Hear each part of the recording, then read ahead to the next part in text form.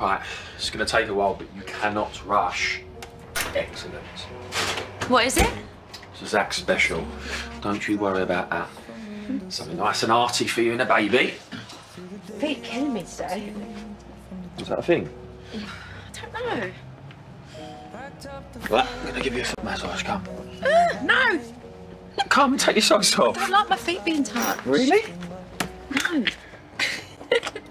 Let's have a look at these hooves then. Ah, don't call them hooves. All right.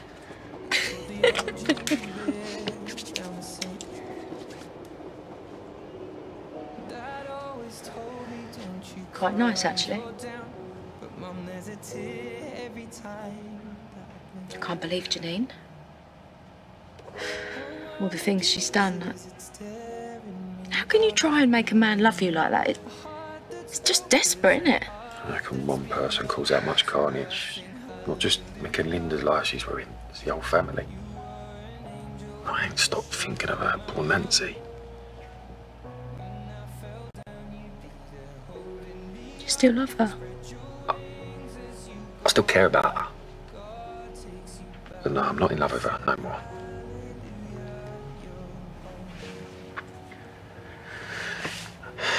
You know what I'm thinking?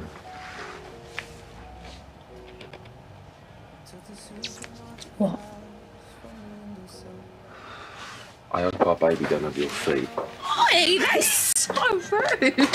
Oh, you got to let baby number one come out before you try for baby number oh, two. Very funny. I'm just giving her a foot massage, all right? Ugh, textbook move, darling. Right. I'm gonna go and fold up my washing and that before we eat. Yeah, good idea. Very sensible.